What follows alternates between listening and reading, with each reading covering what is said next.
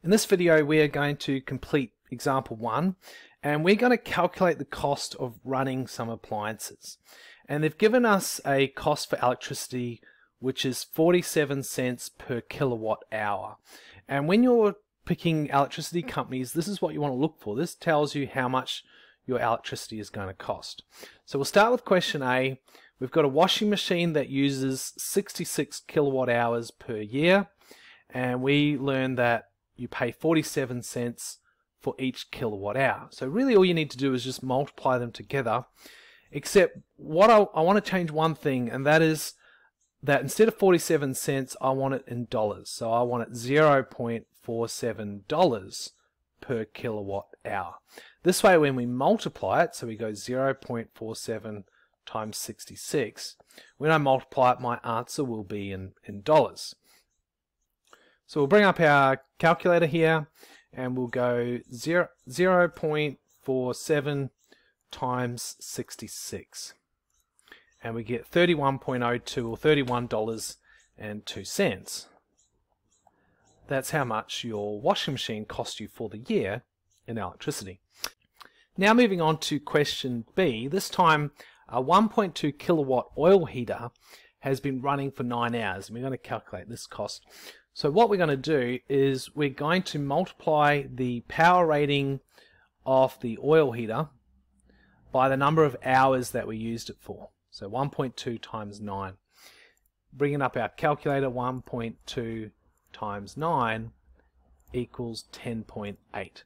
So it has used 10.8 kilowatt hours of electricity. Now all we need to do is take the 10.8 and multiply it by the amount we paid per kilowatt hour or by 0.47. Bringing up our calculator, we've already got the 10.8 times 0.47 equals, and we get $5.076. That's about $5.08. We'll round it up like so.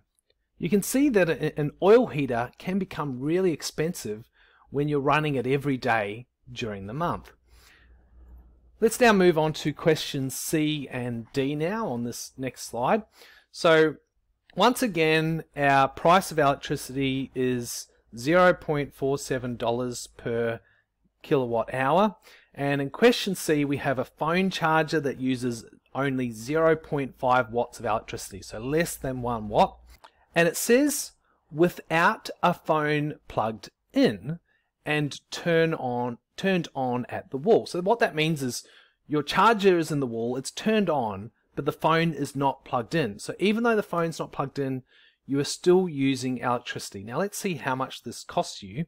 And the question is telling you to imagine that you leave it on every day in the month of November. So we're going to leave it on every day for 30 days.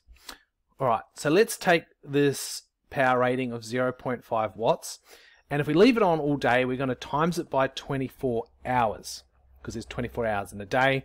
And we're also going to times it by 30 because there's 30 days in a month, or in this particular month anyway. Alright, so what do we get? 0.5 times 24 times 30 equals, and we get 360. Now we have to be really careful here because it's not 360 kilowatt hours, it's actually 360 watt hours.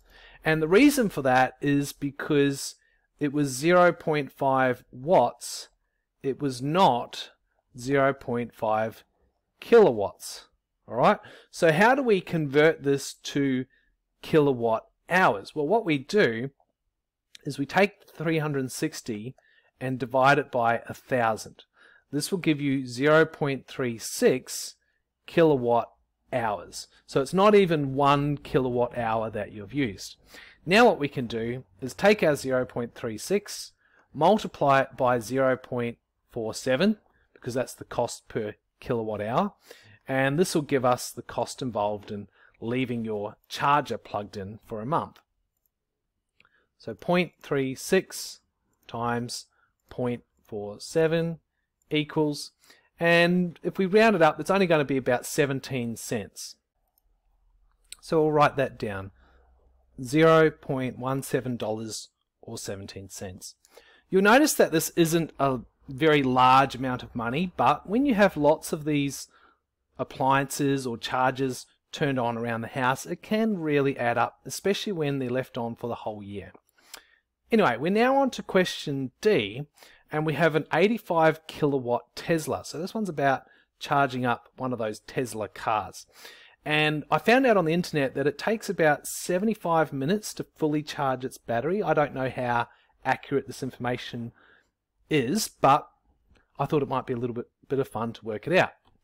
All right, so how much does it cost to charge a Tesla? Let's do that. Well, first of all, we need to convert our 75 minutes into hours. Now, 75 minutes is the same as saying 60 minutes plus 15 minutes,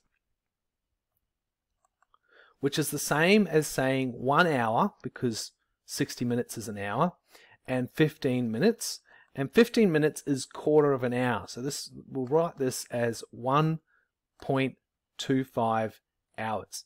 Now some people might really struggle converting from 1 hour 15 minutes to a decimal. So I'll show you how you can do this with a calculator. You can always go 1 DMS 15 DMS and then go second function DMS and it will convert your hours and minutes into a decimal 1.25.